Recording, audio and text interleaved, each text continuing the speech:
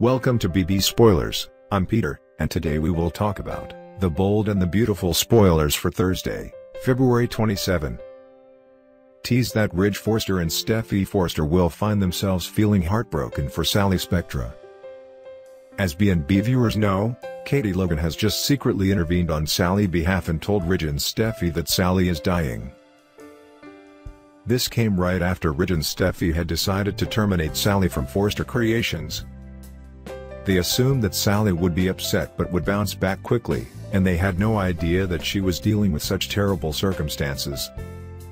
It looks like their game plan will drastically change now, and that they'll drop their plans to fire Sally immediately. But they'll decide to do more than that for Sally.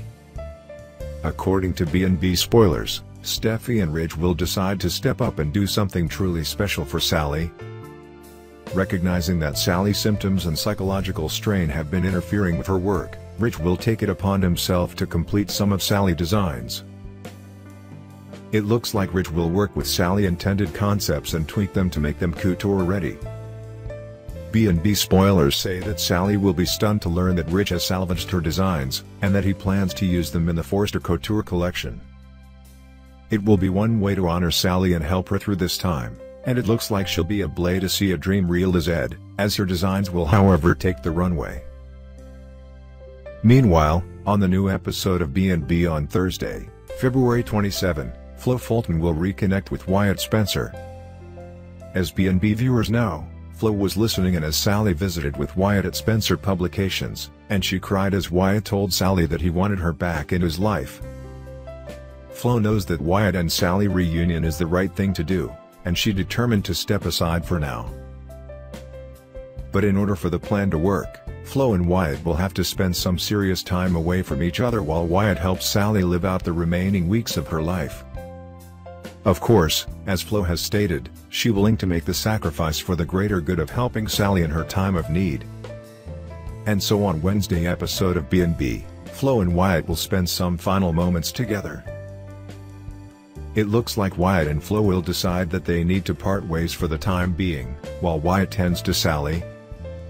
They won't want to run around behind Sally back, so they'll prepare to make the ultimate sacrifice and temporarily deny their feeling yes for each other so that Wyatt can be with Sally. It will be tough for the pair to part, but the fact that they are doing the right thing for Sally will give them peace of mind.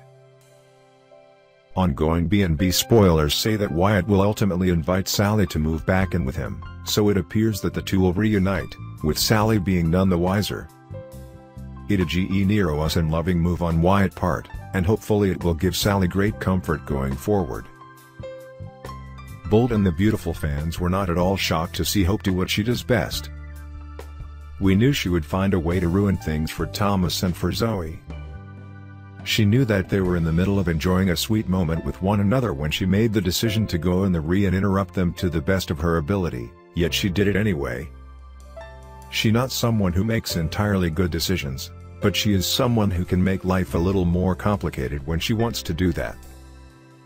She knows that he is going to marry her, but she not sure that she can handle that with all that is going on with his son. Douglas begged Hope to marry his dad instead of allowing him to marry the woman that he is going to marry, and she cannot handle that. Then there is nothing more surprising than the deal that Brookie just made with Ridge. She going to do something that is not really her style, and we are sure that this cannot be real. She is not that kind of woman, and we all know it.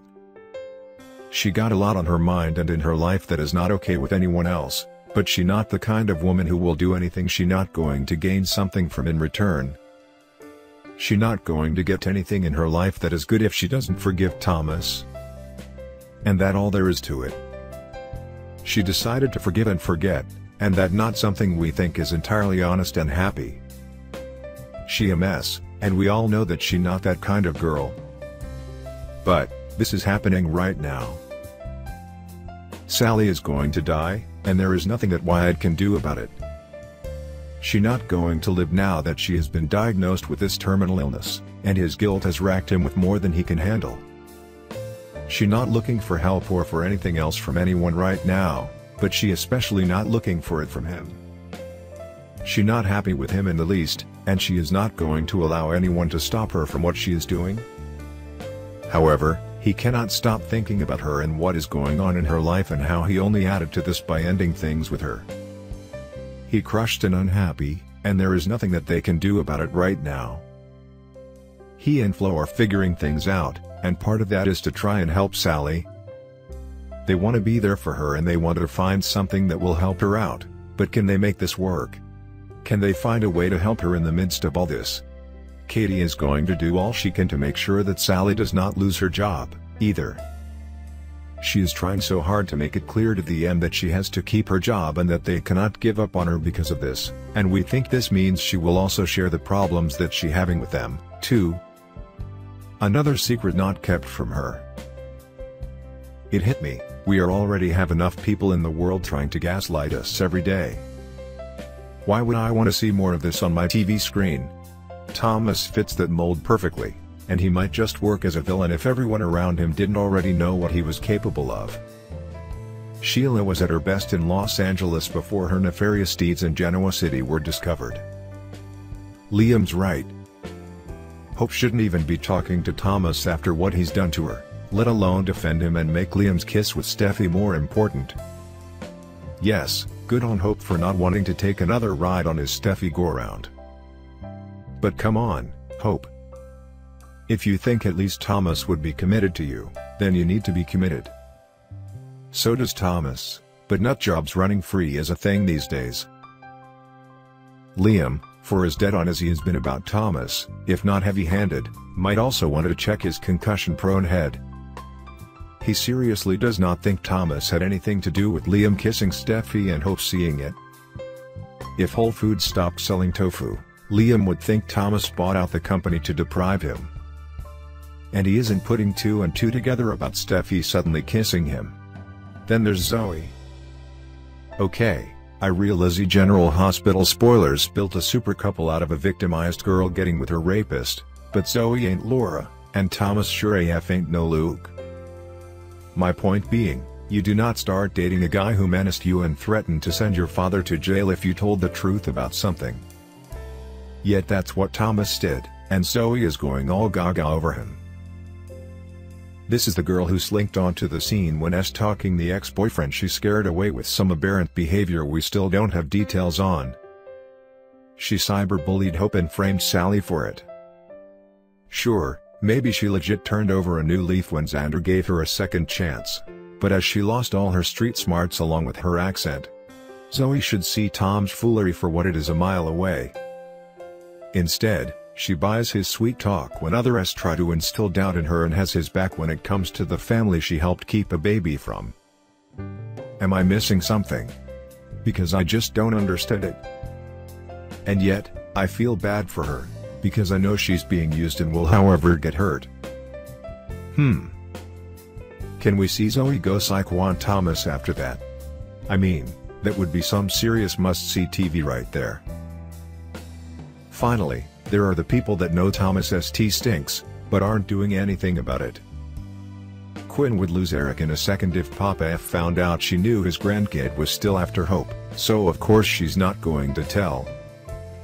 But hell, even though pusher Vinny knows his butt is gleefully using his son. Why doesn't Vinny rat his ass out to the Forrester S?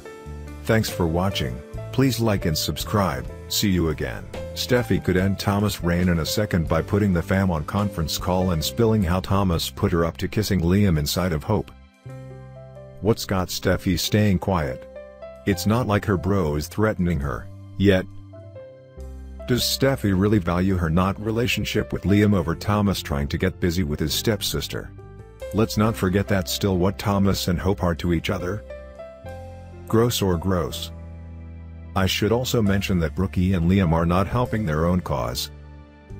They're not wrong when they do their hand-wringing about Thomas, but it's time they take action. Liam once got control of Spencer Publications by recording his dad confessing he'd burned down Spectra.